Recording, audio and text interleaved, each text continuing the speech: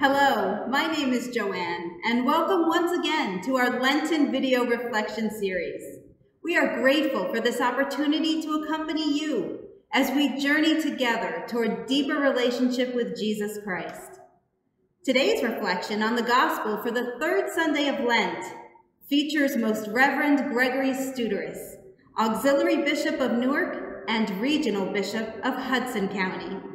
Let us begin by listening to the Gospel.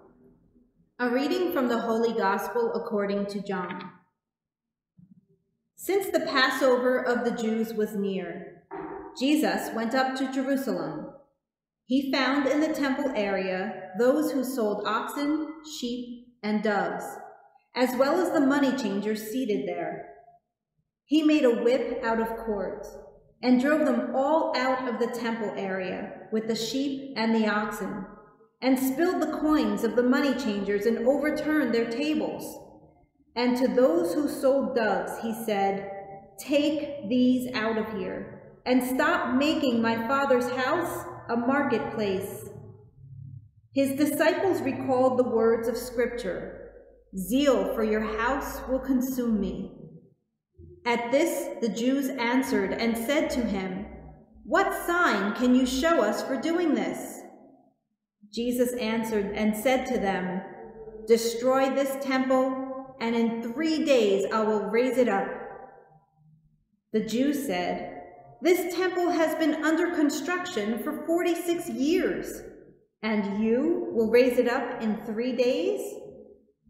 But he was speaking about the temple of his body.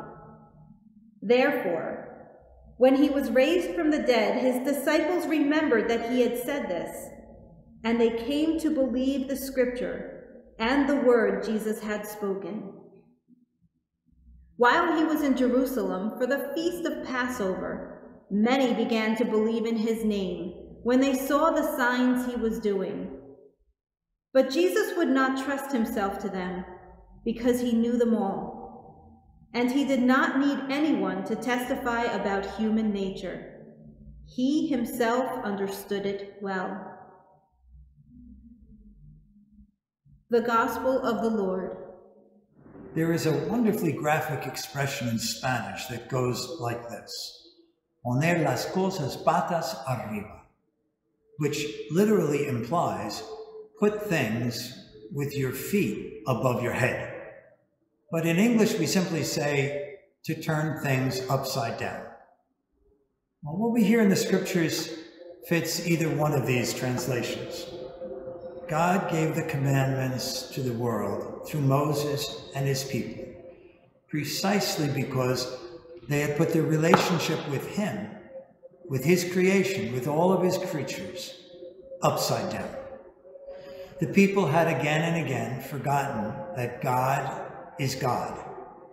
They had forgotten that he had established a two-way covenant with his people from the moment of creation and on through Noah and Abraham and Isaac and Jacob. A covenant that they could depend on. They could depend on him. And yet again and again, the people failed to remember that dependency and instead put their confidence merely in themselves.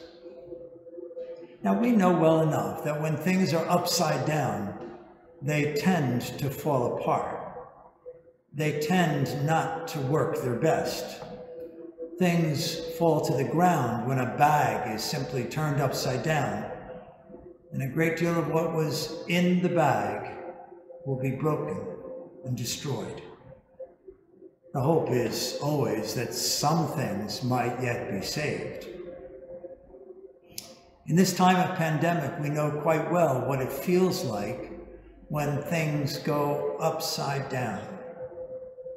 There is confusion, uncertainty, systems break down, relationships, if not merely distant, they can also seem to be maybe lost. And we are all waiting for something and someone to put things right. To put them right, hopefully even better and wiser than before. We wait for that moment when we are no longer unsure of ourselves and unsure of our brothers and sisters. When things go upside down, it takes someone to make the effort to put them right again.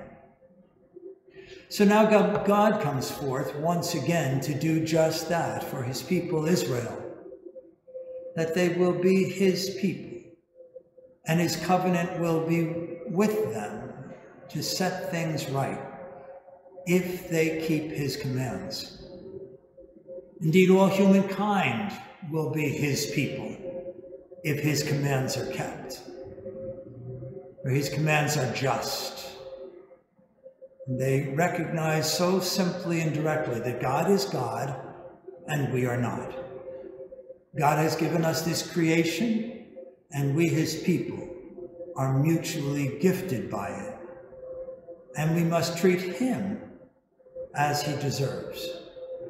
And we must treat our brothers and sisters, and, and indeed all of creation, as appreciated gifts from him. The gospel passage today is the story of Jesus setting things right side up.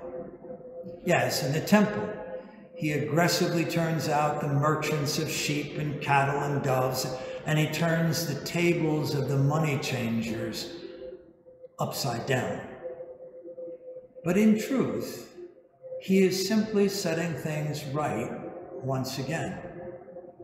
He is once again making the temple what it was meant to be his father's house, and the house where his brothers and sisters would be able to believe again that their Father was with them. Lent for us is meant to be a time when things are somewhat put upside down. Our normal daily habits and practices somewhat changed.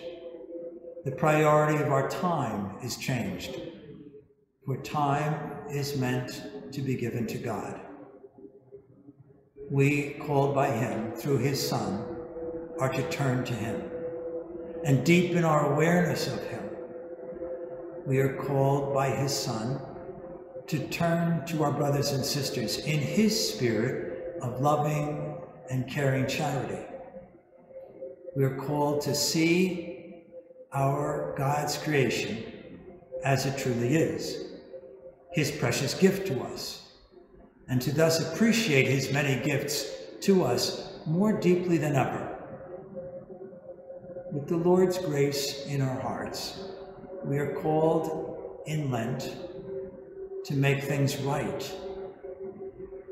And so let us make this Lent a time of putting things right with our God and with our brothers and sisters. And so may Almighty God bless you the Father, the Son, and the Holy Spirit. Amen.